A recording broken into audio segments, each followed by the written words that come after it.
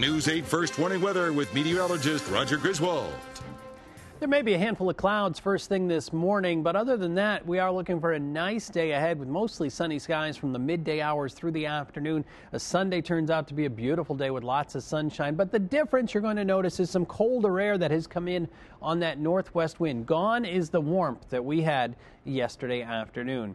Through the morning hours, a band of clouds, perhaps a couple of snowflakes in the air, but it gives way to mostly sunny skies this afternoon. We're clear tonight, and we're mostly sunny throughout the day tomorrow. Nice weekend overall. So clear skies, temperatures continuing to fall by morning upper 20s and lower 30s. The wind continues to ease. Uh, later today, perhaps a couple of clouds early, but much of the day turns out to be sunny far colder than what we saw yesterday, either side of 40 degrees. Here's a check of the next seven days.